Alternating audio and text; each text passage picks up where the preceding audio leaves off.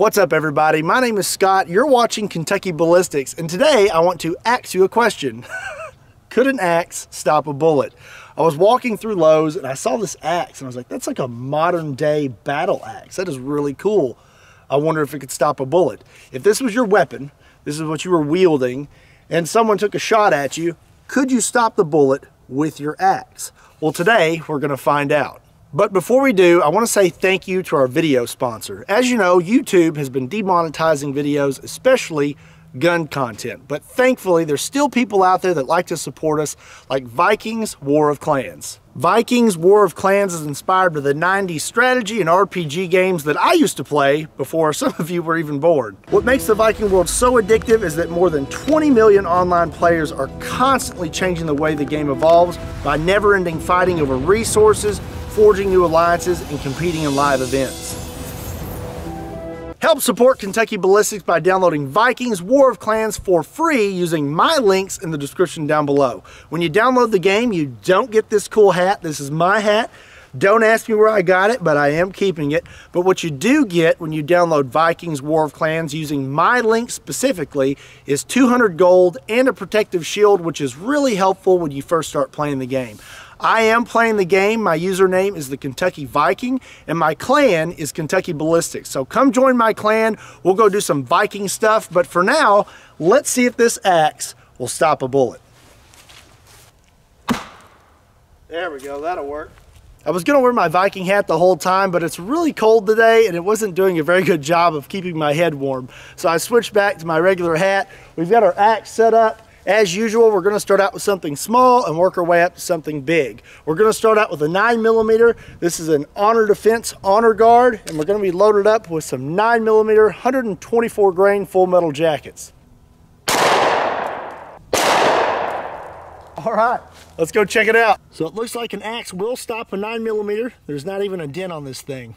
Okay, now let's see if it'll stop a 45. This is a Springfield 1911 model A1, and we're gonna be loaded up with some 45 ACP 230 grain full metal jackets.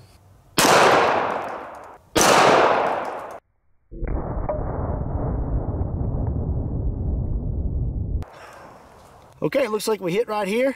There's not even a dent. So an axe will stop a 45 ACP.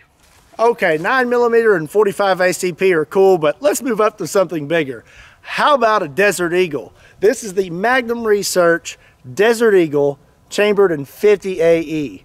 And we're gonna be loaded up with some 325 grain jacketed hollow points.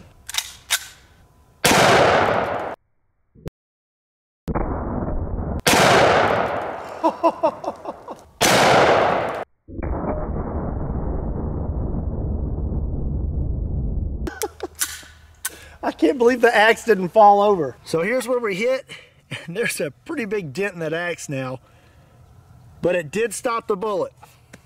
Okay, so I brought some smaller rifles that we were gonna shoot it with, like an AR-15 and an AK-47. But seeing the big dent that that Desert Eagle put in that axe, I don't wanna break it before we can get to the big boy. So let's go ahead, let's break protocol, go ahead and shoot it with the 50 BMG then we can come back and shoot it with the AR and the AK-47. So we have a Serbu RN50 chambered in 50 BMG and we're gonna be loaded up with a 50 BMG black tip armor piercing round.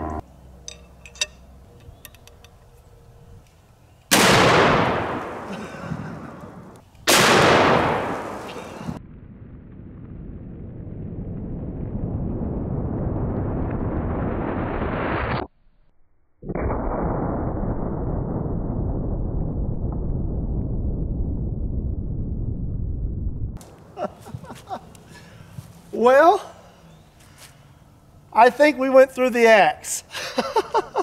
yep, I would say we made it through the axe. Oh my goodness. That is crazy. I don't know if we're gonna be able to get that out without breaking it. Ah, there we go. There's the entrance hole and there's the exit hole. so an axe will definitely not stop a 50 BMG. Okay, the axe is still intact, so let's hit it with an AR-15. We're gonna be loaded up with some 223 full metal jackets.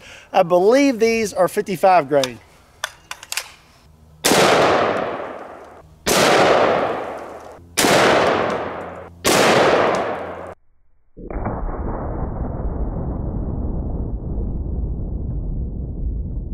Oh man, that broke the top off.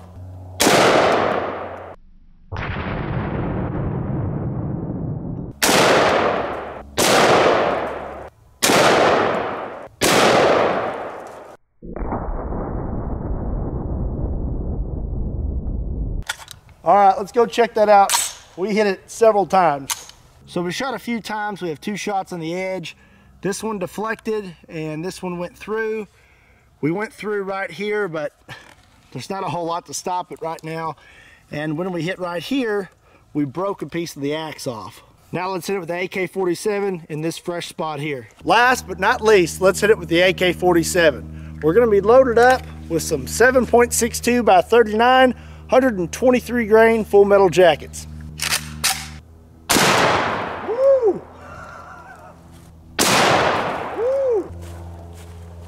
Real quick, I want to show you that it did stop that. Let's go set it back up, hit it a few more times. Dang. It stopped it again.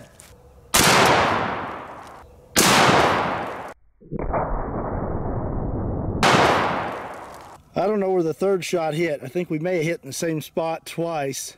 Regardless, we stopped the AK-47, but this side did not stop the AR-15. I'm wondering if it's because this side had been hit several times with pistols before we shot it with the AR-15, and this side was fresh.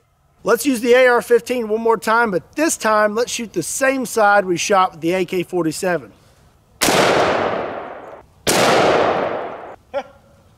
Looks like it stopped it. It stopped it.